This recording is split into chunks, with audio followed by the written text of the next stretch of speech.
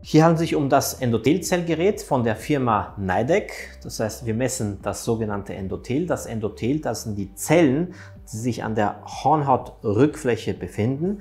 Und wir können hier die Anzahl der Zellen sowie auch die Form der Zellen messen. Das wird automatisch gezählt und aufgrund von der Zellzahl, Anzahl der Zellen pro Quadratmillimeter kann man auch den Zustand äh, des Endothels abschätzen.